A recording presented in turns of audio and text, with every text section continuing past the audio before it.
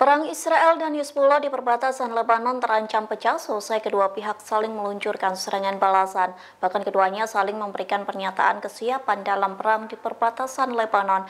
Namun kini Israel ketakutan lantaran pasukan Iran dipersiapkan untuk membantu Hezbollah. Dikutip dari Alsat.com, hal itu disampaikan oleh Menteri Luar Negeri Irak yakni Fuad Hussein yang memperingatkan akan pecahnya perang di Lebanon dan menyebut fraksi-fraksi setia akan mendukung Hezbollah.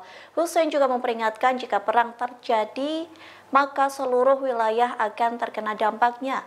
Bagi banyak orang, pernyataan diplomat Irak ini menjadi pesan menakutkan. Pasalnya, pasukan Irak akan menempatkan posisi jika front Lebanon mengalami eskalasi lebih lanjut. Hussein mengatakan pasukan Irak akan berangkat ke Lebanon jika perang dengan Israel sudah benar-benar terjadi.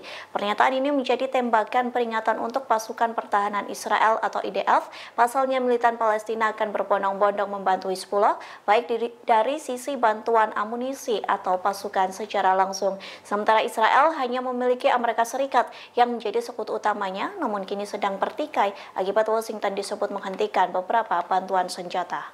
Download Tribun X sekarang menghadirkan lokal menjadi Indonesia.